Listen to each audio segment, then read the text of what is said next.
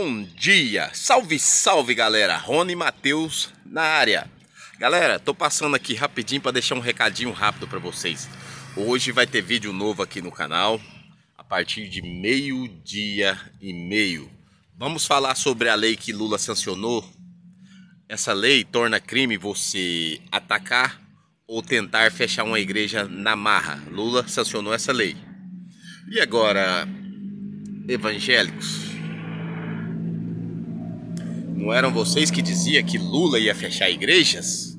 Galera, também a gente vai falar sobre o ministro da Justiça, Flávio Dino, que deu o prazo de até segunda-feira para o ex-secretário da Justiça de Brasília e ex-ministro do Bolsonaro, Anderson Torres, se apresentar ao Brasil, ou senão Flávio Dino vai, vai acessar a Interpol pedir, o, vai mandar o pedido formal de extradição para os Estados Unidos, para extraditar o bolsonarista Anderson Torres. Galera, outra coisa também que nós vai falar no vídeo também, galera. Vamos falar do, da direita pedindo direitos humanos. Eles não gostavam dos direitos humanos.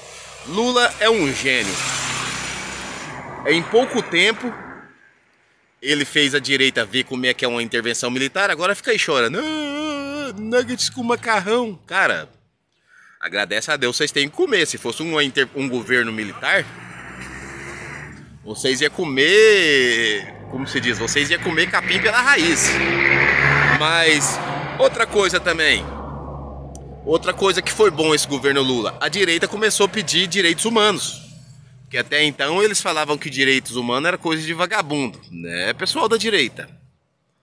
Galera, meio-dia a gente se encontra aqui. Valeu, tamo junto.